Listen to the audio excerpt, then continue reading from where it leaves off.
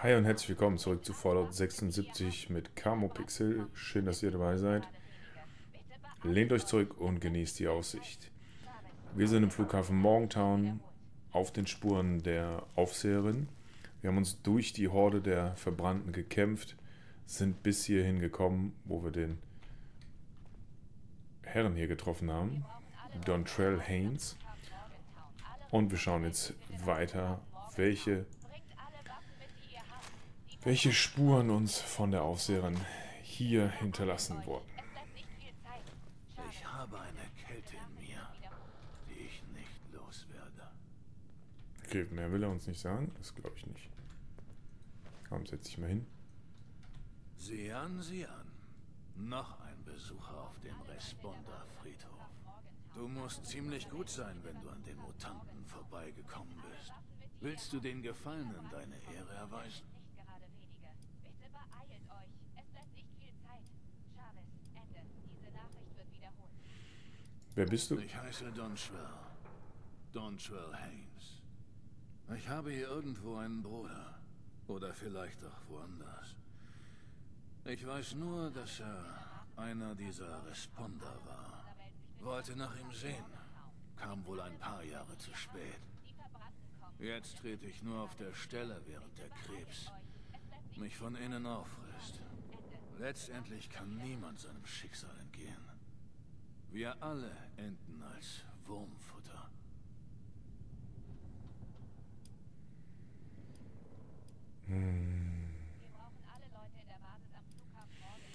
Darum müssen wir dafür sorgen, dass unser Leben etwas zählt, würde ich sagen. Genau das würde Marcus wohl auch sagen. Ich habe auf mich aufgepasst. Ich lebe noch. Und er ist schon längst tot. Hat sein Leben etwas gezählt? Ich weiß es wirklich nicht. Er und die anderen Responder haben viele gerettet, aber letztendlich starben alle. Sie sind nur noch Staub und Erinnerungen. Und selbst die werden vergehen. Aber ich schätze, du hast dir genug von meinem Gefasel angehört. Was kann ich, alter Mann, für dich tun? Chavez, Ende. Diese Nachricht wird wiederholt. Mir deine Sachen zu geben. Nein, das machen wir nicht. Beantwortest du mir ein paar Fragen? Was möchtest du wissen? Wir brauchen alle Leute in der Basis am Flughafen Morgantown. Ähm, was erzähl mir mehr über die Responder? Das waren Polizisten, Feuerwehrleute, Sanitäter. Laut Marcus gute Leute. Sie haben sich nach Kräften um andere Menschen gekümmert. Soweit ich weiß, war das ihre Basis. Sie wurden von diesen Dingern in den Gängen überrannt, aber ein paar Leichen gefunden und eine kleine Gedenkstätte errichtet. Es gab eine Frau namens Chavez. Auf dem Kartentisch ist ein Holoband von ihr. Klingt nach letzten Worten. So lang bin ich noch nicht hier. Mehr weiß ich nicht. Okay, das gibt uns schon ein paar Infos. Ähm, was weißt du noch über diese Gegend? Ich weiß, dass es ein zerstörtes Ödland mit hunderten Biestern ist, die einen fressen wollen. So ist es besser. Weniger Lärm, weniger Wirbel. Nur Echos. Die Natur holt sich alles zurück. Irgendwann wird niemand mehr wissen, dass hier eine Stadt war. Aber erstmal gibt es hier den Bahnhof mit dem Roboter, der dir Vorräte verkaufen kann. Auf dem Betriebshof südlich davon könntest du Material finden. Und Morgantown, auf der anderen Seite des Flusses. Da gibt es bestimmt auch viel nützliches Zeug, wenn du überlebst. Verstehe. Karte wurde aktualisiert. Hier ist es gefährlich. Warum bleibst du trotzdem? Ich glaube, es ist egal, wie gefährlich dieser Ort ist. Wenn mich keiner dieser Mutanten erledigt, dann halt der Krebs. Aber was mich hier hält, ist wohl das Wissen, dass hier mein Bruder gestorben ist. Nenn mich abergläubisch. Mein Geist soll jedoch nicht allzu lang wandern, um seinen zu finden. Du hast deinen Bruder erwähnt. Fünf Jahre jünger als ich. Star Running Back in der High School und gut aussehend. Konnte sich vor der Damenwelt kaum retten. Er folgte mir in die Armee und wurde Militärpolizist. Danach zog er nach Morgantown. Dort ging er zur Polizei. Damals lebte ich in Cincinnati. Wir haben uns per Funk unterhalten. Mehr als einmal wollte er mich dazu bringen, den Respondern beizutreten. Er fehlt mir. Danke für deine Zeit, alles, Don Trail. Und ich teile sie gern. Pass auf dich auf.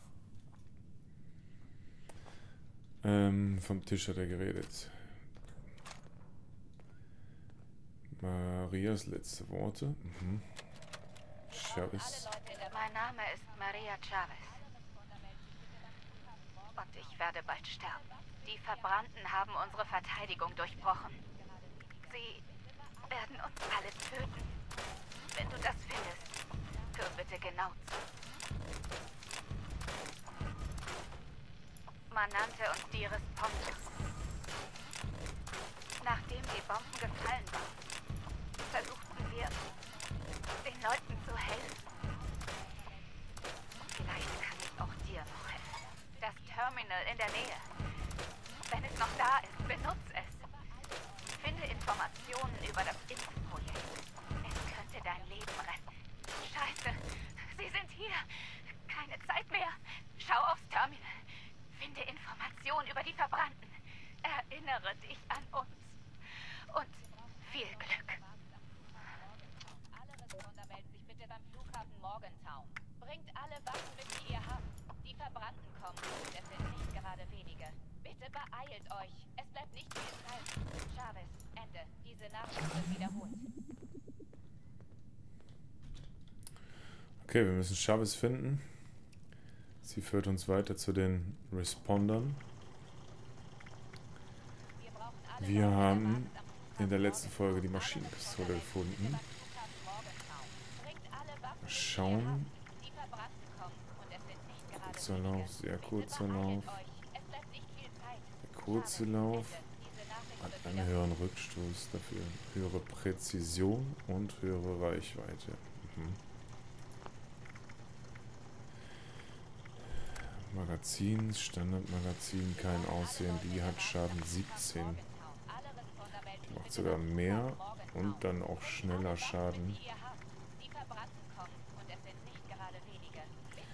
als die normale 10 mm. Was brauchen wir für diese ganzen Sachen? Waffenschmied Rang 2, das ist, oh, das ist eine Sache, die wir auf jeden Fall angehen müssen, um unsere Waffen weiter zu verbessern, was natürlich sehr viel Sinn macht. Nur mal kurz gerade für die Pumpgun genauso. So. Ähm, dann machen wir natürlich unseren Stufenaufstieg.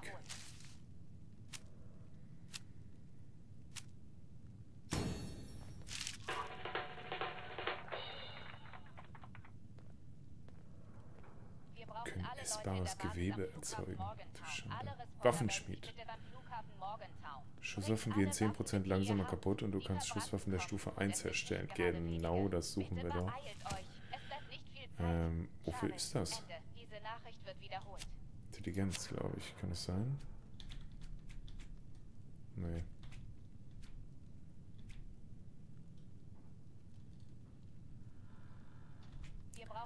Mehr Strahlung. Mikrowaffen nutzen wir nicht. Ersthilfe haben wir 1 und Hacker sind wir schon gerade im maximalen Rang. Dann nehmen wir noch ein Erste-Hilfe-Karte. Ja. So, wo ist das? Wir brauchen alle Leute in der Basis am Flughafen Responder Skeetschießen. Nicht automatischen Gewehre verursachen mehr Schaden. Nehmen wir mit. Unser Jagdgewehr ist sehr gut. So, für die Perception nehmen wir den Gewehrschützen mit. Für Die Intelligenz nehmen wir den Waffenschmied mit. Dann sind wir bei Bitte 6 beeilt euch. Es bleibt nicht improvisierte. Nehmen wir raus und dafür nehmen wir Erste Hilfe rein, die jetzt 45% mehr Gesundheit wiederherstellen. Sehr schön. Ähm, Nahrungsmittelgetränke wiegen weniger. Aktionspunkte regenerieren schneller. Die wollen wir mal im Rang erhöhen.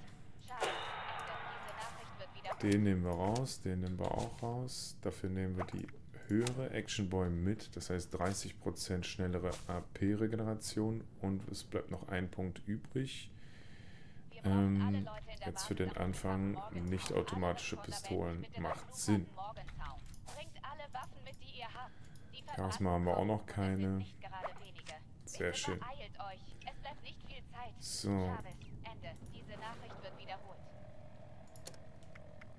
Ne, Gegenstände, Waffen. So.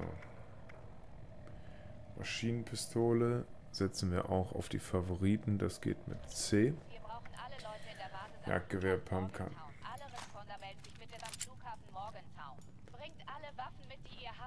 Gut. Rüstung reparieren. Mal schnell gucken.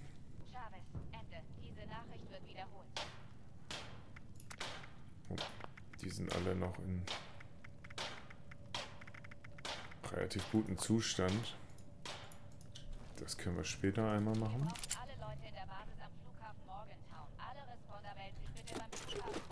Ah, Klammer mitnehmen.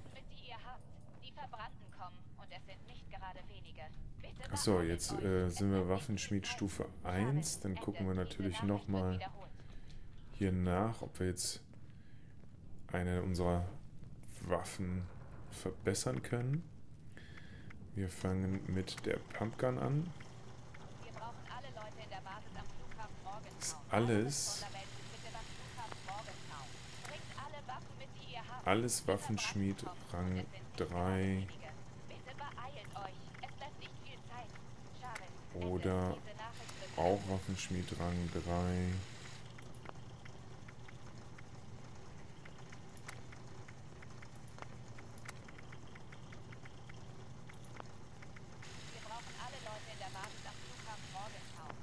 Alles Rang 3, das ist natürlich extrem krass. Hier auch die größeren Magazine. Hier fehlt uns Kleber und Schraube. Das habe ich doch... Das habe ich doch gesehen. Moment mal. Schraube haben wir hier. Den können wir noch knacken.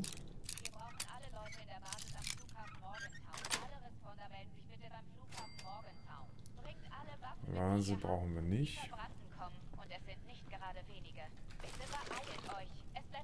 Blechdose. Werden hier ja wohl irgendwo ein bisschen Kleber finden. Auf die Schnelle.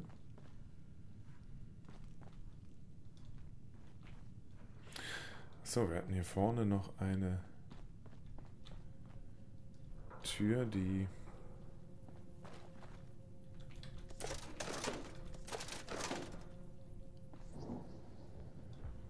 Treibstoff. Wir müssen trinken.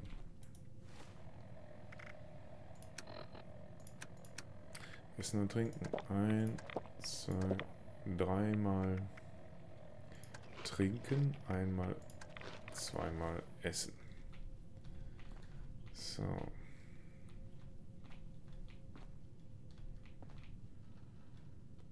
Ein Rezept. Und ein Steak. Das nehmen wir mit. Instapüree nehmen wir ausnahmsweise mal mit. Kein Kleber hier drin. Hier hinten war noch eine Tür, die man auch knacken konnte. Schachtel Zigaretten. Hier.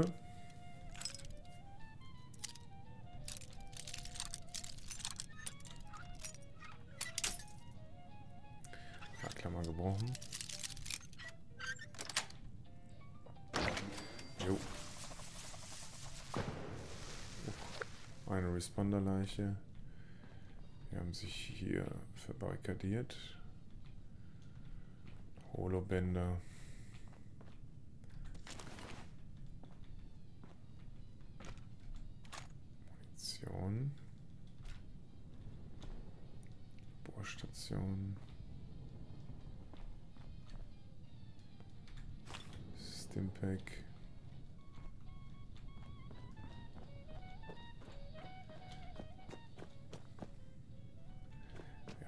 Später.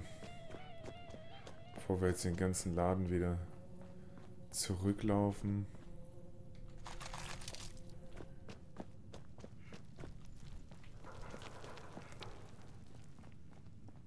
Denken wir dran und nehmen irgendwo auf dem Weg mal ein bisschen Kleber mit.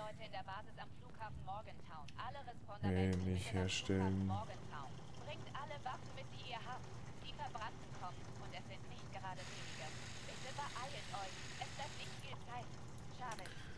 Wir wollen verwerten. So. So, hier geht's runter. Zack.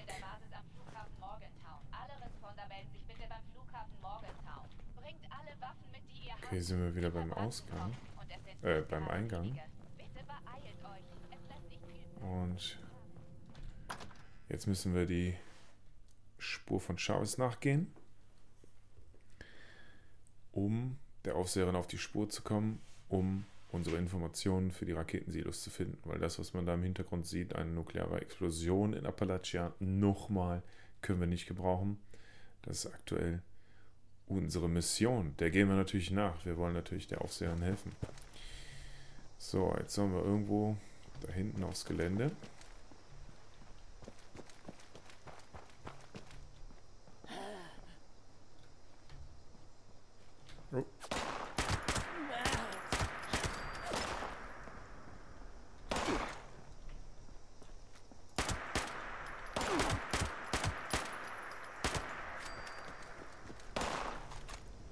ist ja auch nett, die Maschinenpistole.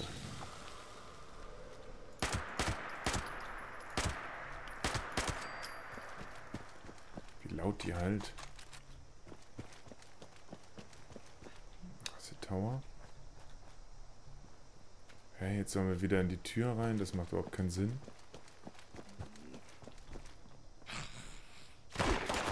Autsch.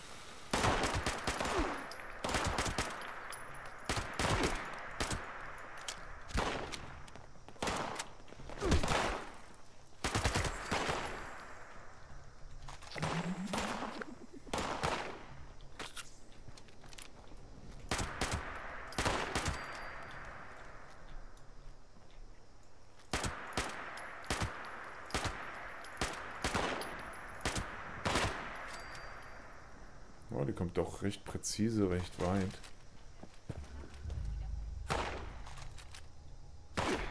Autsch.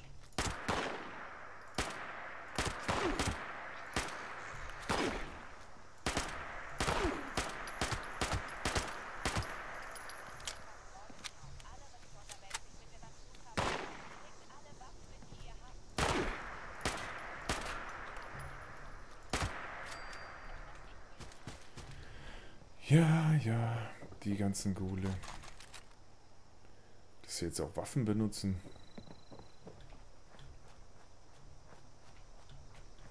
So, warum äh, führt uns die Mission jetzt in Basis am Flughafen habe ich ein Holoband, ich sollte es mir anhören. Das wollen wir nicht machen. Ja, jetzt sollen wir doch wieder da rein. Frage mich nicht wieso. Gerade eben sollten wir raus. Wir haben das Holoband doch gehört. Es fehlt wohl noch ein wunderschönes Holoband.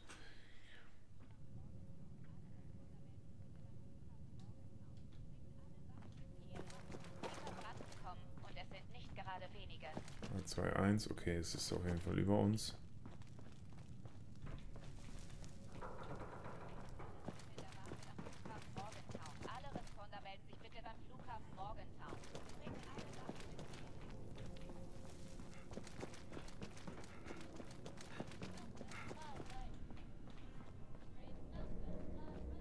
Aber wir kennen ja mittlerweile den Weg.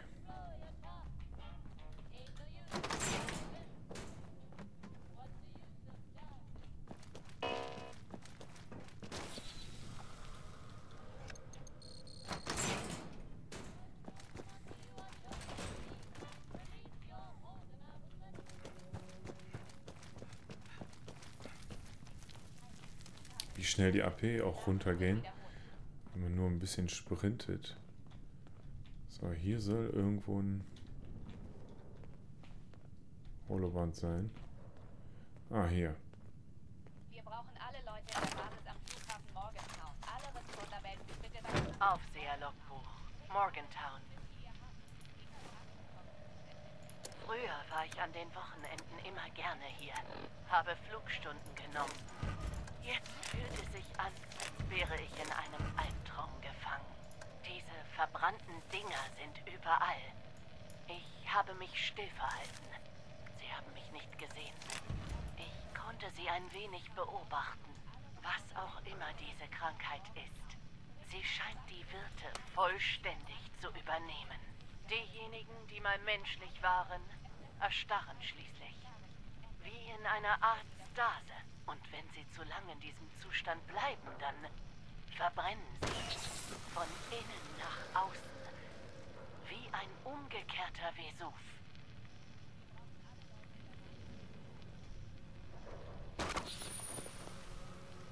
Ich habe mich gefragt, was die mögliche Ursache dafür sein könnte. Und dann habe ich meine Antwort bekommen. Das Vieh stürzte sich aus dem Himmel herab.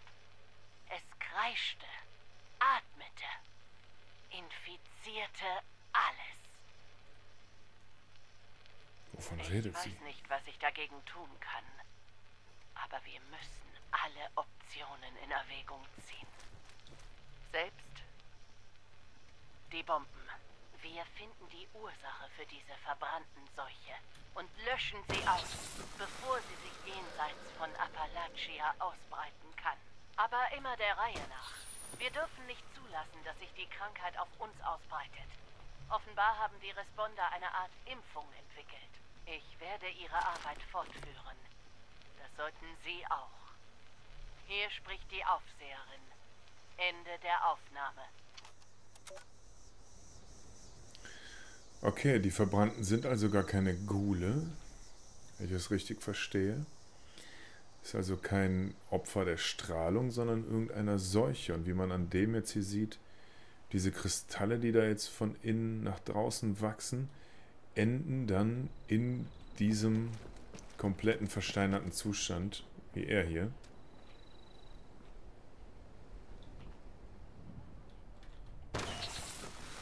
Und es ist eine Seuche, die von irgendeinem Viech übertragen wird und äh, auf alle übergehen kann, wie die Aufseherin berichtete. Und dass davon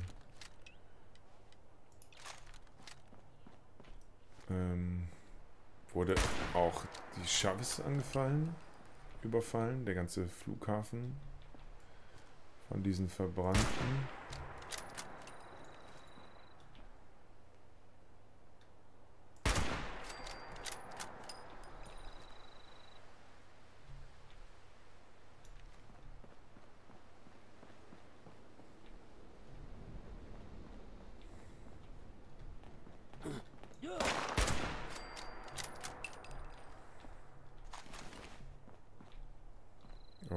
Ist wieder. Ja, ja. Und ziehen auf den Boden.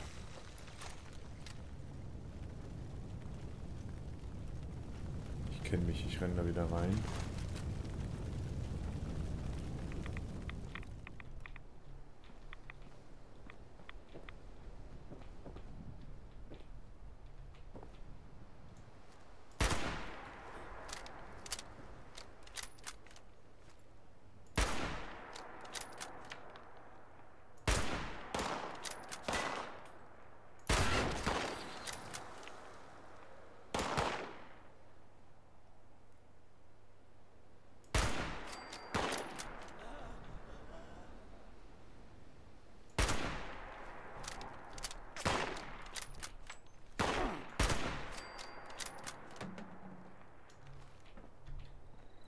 Jo, die haben wir.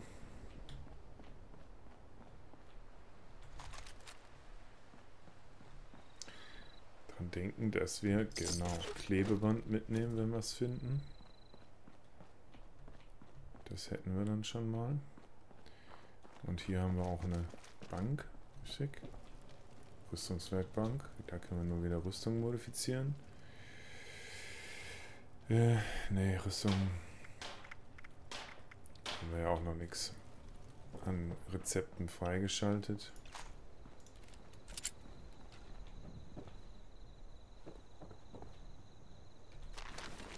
Siedler. Alles Lager der Responder damals gewesen. Heilige Nacht. Oh Gott. Danke.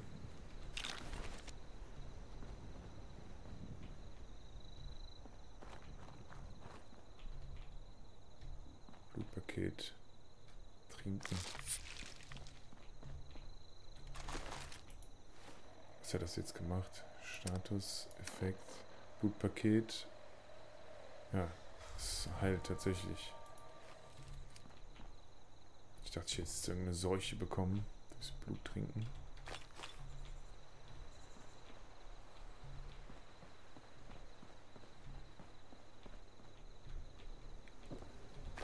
Bisschen Medizin. Den können wir knacken. Immer gut, um Erfahrung zu sammeln. Vorsichtig. Bisschen noch. Jo. Metallrüstung linkes Bein. Die, warte mal, was stand da? Inspektoren-Outfit. Okay.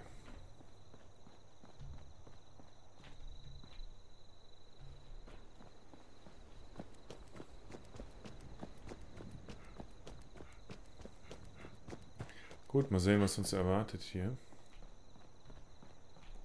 Bisschen Zeug können wir hier plündern. Alter Augenbot. Hier ist was verschlossen. Ist da ein bisschen was Wertvolles drin? Ja, Toilettenpapier natürlich. Das muss verschlossen werden seit Corona. Wer weiß es nicht. Und Kühlschrank. Was haben wir da? Auch Medizin. Infusionsbeutel, denke ich mal, sind gut für Flüssigkeit. Wollen wir mal nachgucken, ob es sich lohnt, das mitzunehmen in der Zukunft. Dann ist er bei Essen und Trinken. Auch nicht. Ist er bei Schrott tatsächlich. Er begibt Plastik. Advanced Responder Training. Das werden wir wahrscheinlich für die Frau Chavez dann gleich umsetzen. Essen mal, happen, trinken mal was. Ja.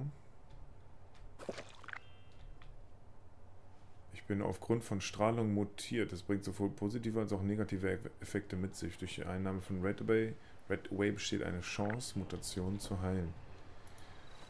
Die Effekte können wir hier nachsehen. Wo ist denn unsere vollständig instabiles Isotop? Chance auf Verstrahlen von Nahkampfangreifern. Wir können die Nahkampfangreifer verstrahlen, vollständig.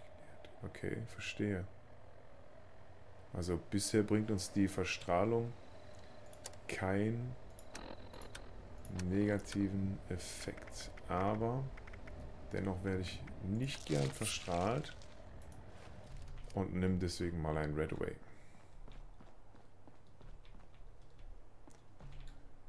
Arzttasche, Munition.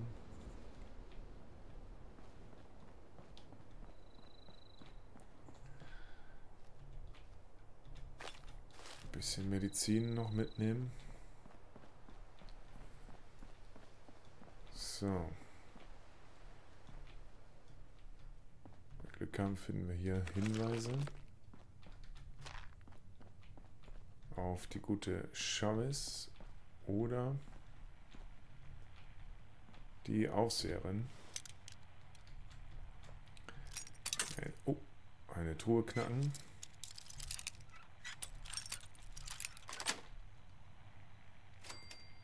Sehr schön. umgucken. Eine Notiz lesen. Kein Bunker. Hm. So, ja. Muss man den verändern. Du weißt das. Die Liebe Lydia. Hm. Wüsste ich jetzt nichts mit anzufangen.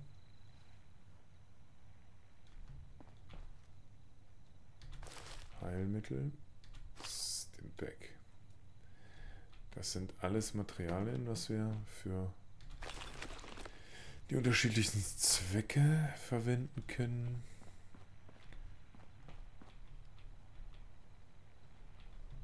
Hier noch Medizin. Achso, ich dachte, stimmt, das bringt uns ja nur Plastik. Hier ist noch ein Medex, das können wir gebrauchen. Das strahlt jetzt hier vor sich hin. So, dann die Treppe hoch. Da wird unser unser Quest-Hinweis sein. By the way, verbrannten Hand im Glas. Das sieht ja nett aus. Kann man sich zu Hause hinstellen. Hier ist ein Fuß eines Verbrannten. So, der Laborterminal. Informiere dich über das Impfprojekt. Bekannt. Nein, zurück. Da, bekannt machen zum Impfprojekt. Wie ihr wisst, hat Dr. Hudson ihre Forschung im Labor bei AVR Medical fortgeführt und jetzt hat sie sich gemeldet, um uns mitzuteilen, dass ihr ein bedeutender Durchbruch gelungen ist. Es sieht so aus, als würde das Impfprojekt gegen die verbrannten Seuche endlich umgesetzt werden. Drücken wir die Daumen und unterstützen Claire mit aller Kraft, damit sie ihre Arbeit abschließen kann. Unser Überleben hängt davon ab. Jeff Nakamura. Verbrannten Forschung. Brandbestien. Bei diesem Namen denkt man an schreckliche Bilder riesiger mutierter Fledermäuse, die den Boden vergiften und Lebewesen in ihre tödlichen Sklaven verwandeln. Zum ersten Mal haben wir von den Brandbestien durch die stählerne Bruderschaft erfahren, deren Soldaten im Südosten auf die Kreaturen getroffen waren. Anfangs glaubte niemand, dass das, was sie beschrieben, real sein könnte. Wir gingen davon aus, dass es sich um eine erfundene Geschichte handelte, um der Bruderschaft eine Rechtfertigung für das Beschlagnahmen unserer Munition und Vorräte verschaffen. Wir irrten uns. Hm. Stehe. Oh, wir haben was geschenkt bekommen. Somerset Special. Rüstungsdurchdringung. Das ist ein 44er Colt. Revolver, sehr schön. Ups. Quest abgeschlossen. Eine letzte Reise. Mach dich mit Dr. Hudsons Forschung vertraut. Polizisten Sonnenbrille, Responder Polizei, Uniform, Polizeimütze. Warte mal, was stand da? Oh, weg ist es. Kurz mal nachgucken. Polizei müsste, Polizei Sonnenbrille, Polizeiuniform.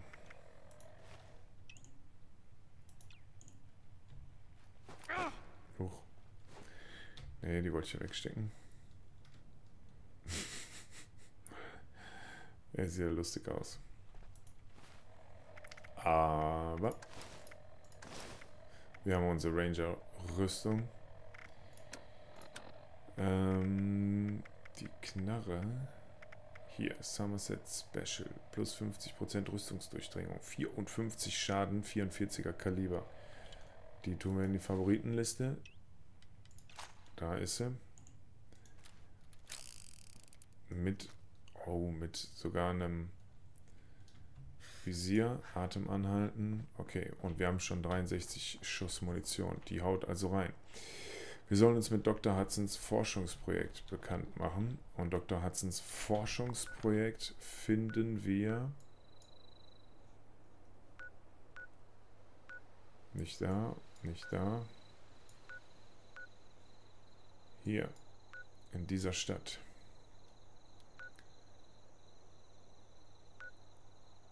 Oder in einem Labor, was auch immer das ist, im Süden. Das bedeutet, es geht wieder zurück. Ähm, hier ist eine Quarantäne. Das schauen wir uns alles im nächsten Video zusammen an. Ich bedanke mich fürs Zusehen. Wir sehen uns im nächsten Video. Bis bald.